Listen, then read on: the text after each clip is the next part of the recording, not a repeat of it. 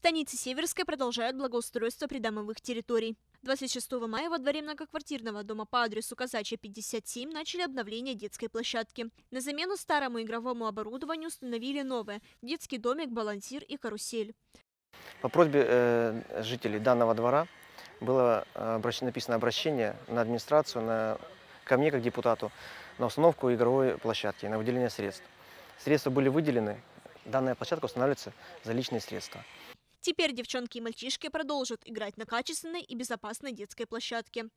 Также, также прошу обращать внимание э, и следить, как говорится, за благоустройством данной э, площадки, чтобы их не ломали, чтобы детей, как говорится, приучали э, ценить данные вещи установленные.